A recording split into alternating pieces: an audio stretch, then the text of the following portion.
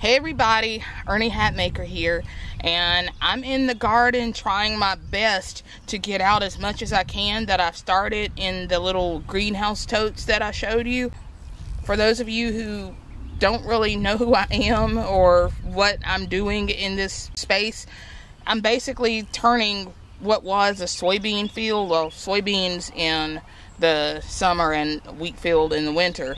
About one and a half acres of it is is garden and I'm trying to turn it into something I can use permanently as garden and it's taken a little while to build the soil up from what it was so I want to show you what I've been doing this week so I started out with 10 of these totes that I moved my seed starts from grow lights into. Some of them never were under grow lights and they were directly out here in the winter and everything.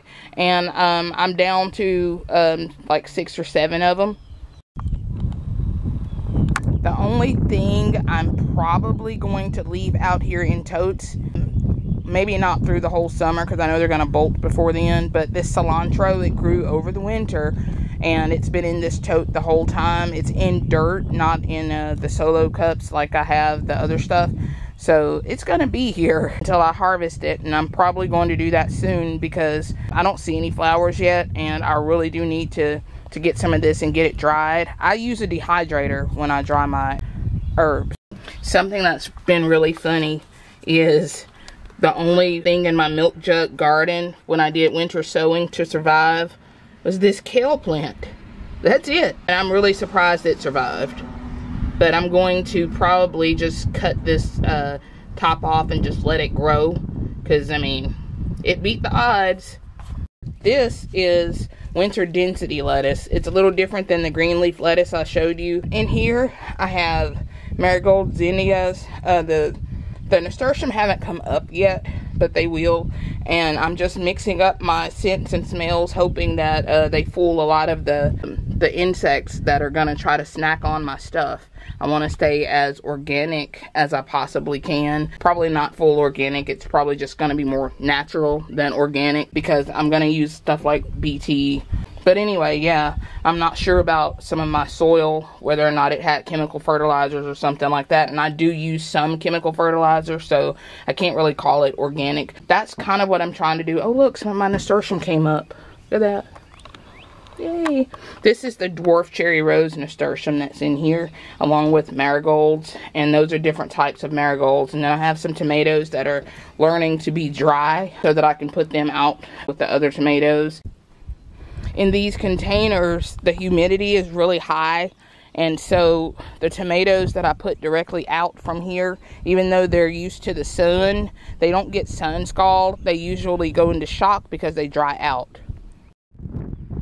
The brassicas and onions that are in this bed stay a little dry and they're doing fine as far as that goes. But you can see there's a little bit, it looks like snail damage. The snails usually bite in holes uh, whereas, like, if you have worms or something like that, they go in a long line. So that's kind of how you can tell what you have eating your things. But yeah, this bed kind of stays dry. And uh, except for, you know, the rain watering them, this stuff is holding its own in here. In the buckets that I have brassicas, you can kind of see I've added a couple more various from kale to um, green leaf and more chard, things like that.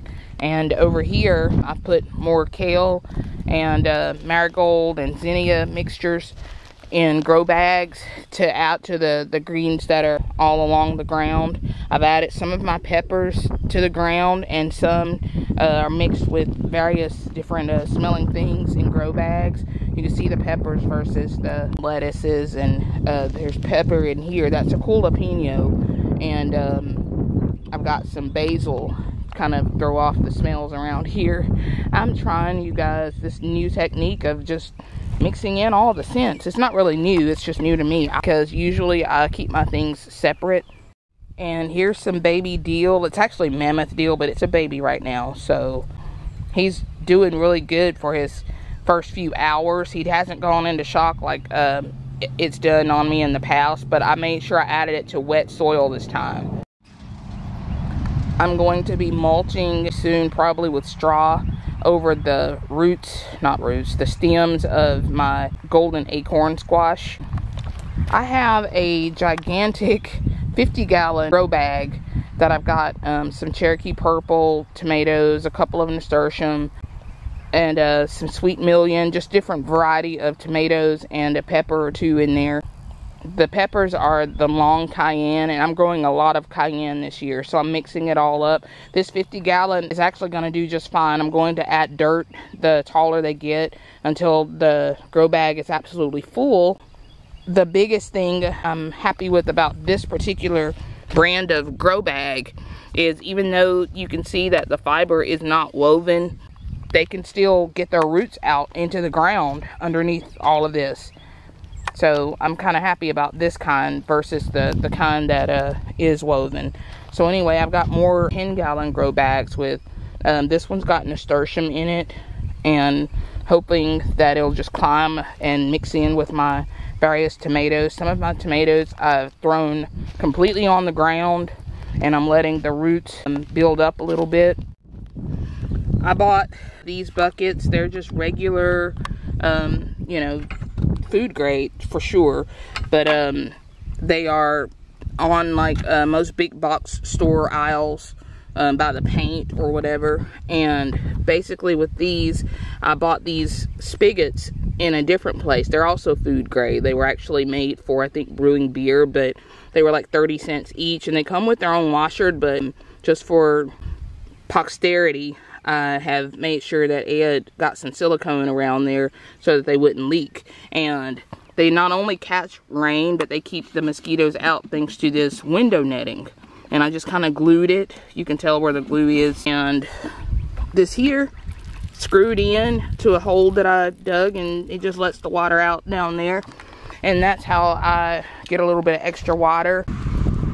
Did a little digging. I didn't do the first amount of digging. I actually put my beans in here and then a turtle came in and laid some eggs. Did see the eggs. They're underneath there. I decided not to put anything that I've got to put fertilizer or something like that. That way I don't mess up whatever nature's got going on for this turtle and her babies down there. But my little marigold is still standing. And so instead of planting more down here, I've actually decided to go ahead and put stuff in buckets around this way. So I've got nasturtium and beans in these two buckets down here. Another uh, water catcher. This is what those on that side were supposed to look like. These beans are a various mixture of runner beans and Kentucky Wonder Pole beans and asparagus beans. And they're all kind of in there together. I planted some nasturtium seed. It hasn't come up yet. A couple of marigolds. They haven't come up yet. More grow bags with kale and Swiss chard.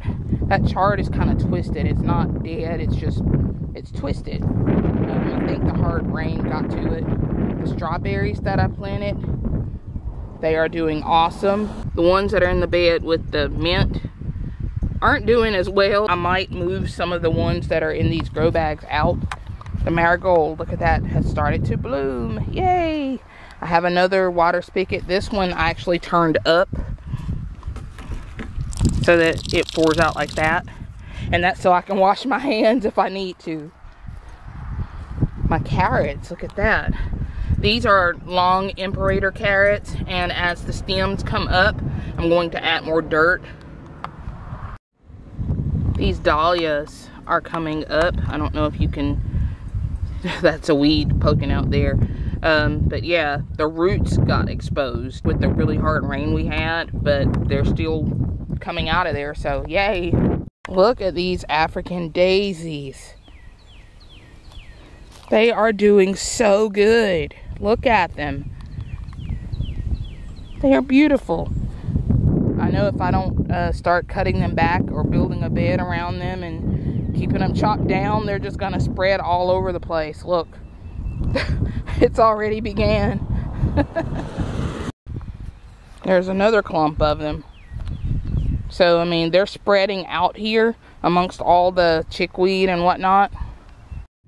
I still haven't put out my summer beans yet, but um, I know that there's probably no weeds growing here now.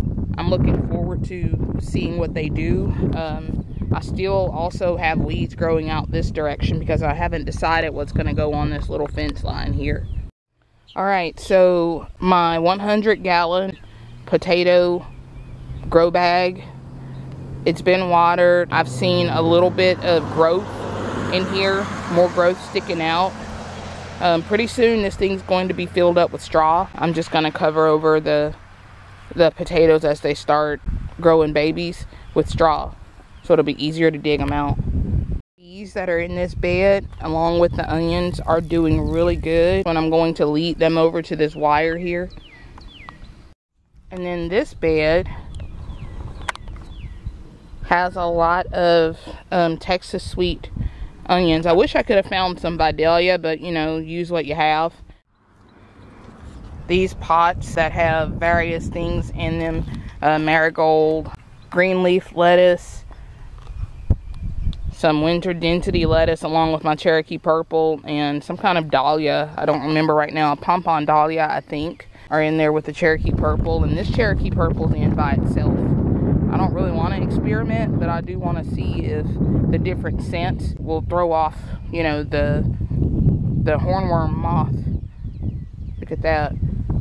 Those zinnia aren't really happy in there, but hopefully um, I can get the thyme that's in there to kind of grow along with it. Maybe the zinnia wants some This is the repurposed soil bed and most of the soil just looks so good in there. Um, and it's got the spinach that I planted that is now pretty much whatever's fully rooted is, is grown and the other stuff has died.